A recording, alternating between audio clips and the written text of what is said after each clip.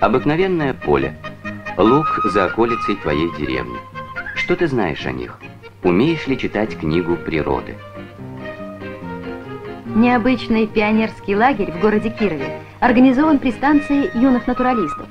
Почти ежедневно ребята выезжают на охоту за травами. Именно на охоту, и здесь удача ждет не каждого.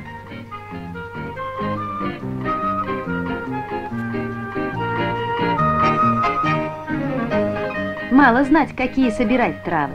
Надо уметь это делать.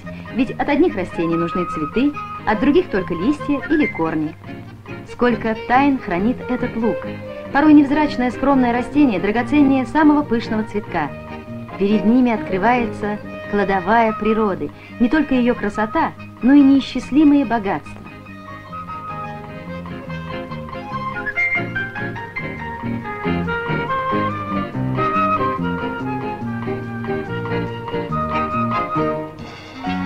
Эти ребята уже не поведут себя в лесу, в поле, как бездумные потребители.